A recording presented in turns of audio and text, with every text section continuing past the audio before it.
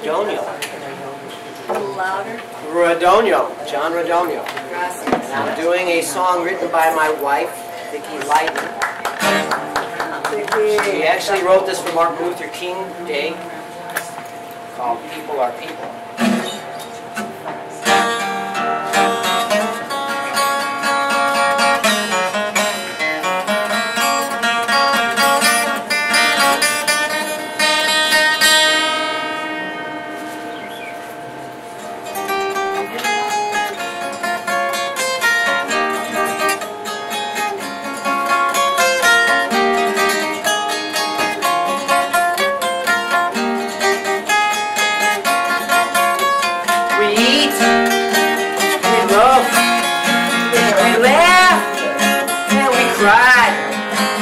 the day.